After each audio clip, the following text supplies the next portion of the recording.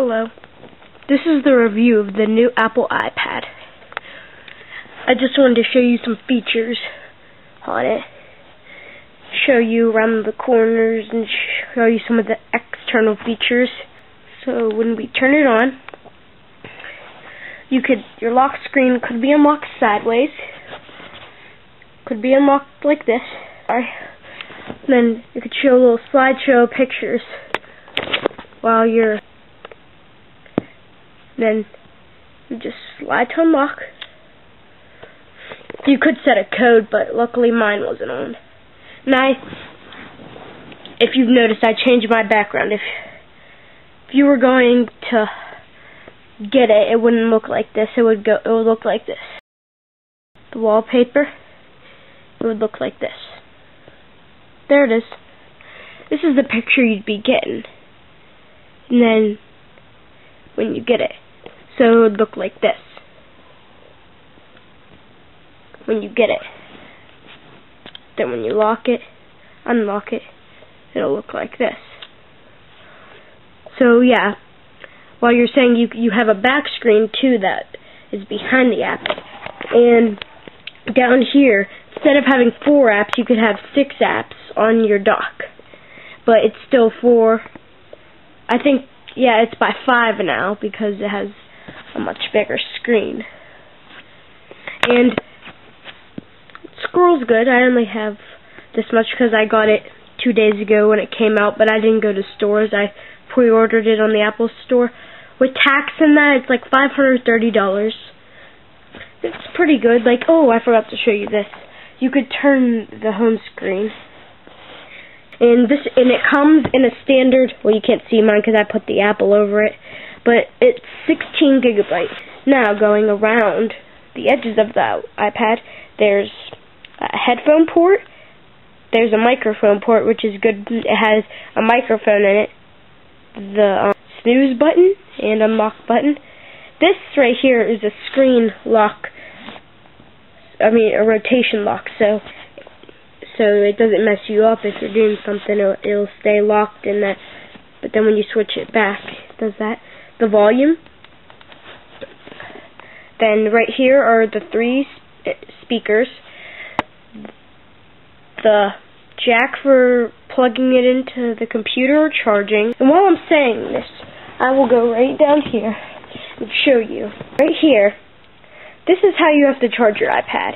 It has a plug-in charger with a port and one of these. You cannot charge it into the computer, which I do not like. You have to plug it in right here. Then you have to plug right here and then as you can see it charges. And also by the battery it shows your percentage, exact percentage, which I like. Now as we go on, I want to show you some of the features. There's special apps made for iPad like this new Tap Tap Radiation. Tap Tap. And it has a store like Tap Tap Revenge. See, I'll do it on easy. And this is different. This is made. This is a free app too and it's made for the iPad, so it has a big screen. Turn it sideways. Things around, you press it, just like you would before. And if you're going to download an app that doesn't come with the iPad and it's only for um, the iPhone, but it would still be in this, it would still be in the store. Car. It'll come out like this on the iPad. It'll be small screen, but if you look over in the corner, it has a times two button, which makes it large but the graphics can be a little bit unsteady and it goes back to its but just what it will go back to like its iPhone form. But the games work the same. And the key the keyboard's different too. But there's no difference.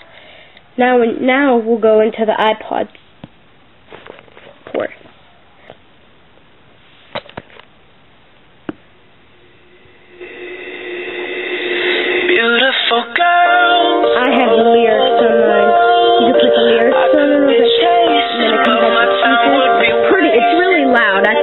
a nice feature. And it's nice and complimentary. Going back to here, it has a different screen when you go back, when you turn it sideways, it doesn't have that thing as I had on the iPod where it shows all the albums and you could scroll through the albums.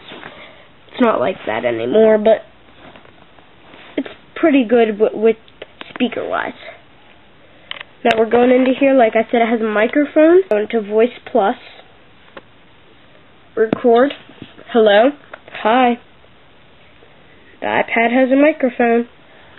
You stop it. Hello. Hi. The iPad has a microphone. You could hear it, and whatever includes a mic, whatever app, if an app includes a microphone, it works.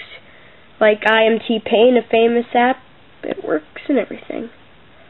I'm just saying, sometimes syncing apps on from your iTunes, from your iPod, if you have one before on here, it, like when you press sync, your iTunes might freeze. So if you go into the App Store and down, like for IMT Paint, I tried to get that on there, but every time I press sync apps on my iTunes, it would my iTunes would freeze up because the iPad's like has a bigger screen and all that. I don't know why. So if you go in the App Store and re-download it, it'll tell you that you, if you have an account and all that, you have to have an account for this. Let's go into the App Store and I have an account sign in. So if you have that and you want to and it, your iTunes freezes up when you sync apps, if you download the app again from the iPad App Store, it will tell you that you already have downloaded it and it'll let you download it again for free. So all that is good. And everything is pretty good, you know. The headphones are good and everything else is the same, but it doesn't have some of the stuff like it doesn't have calculator anymore and all that. It just has the basic ones.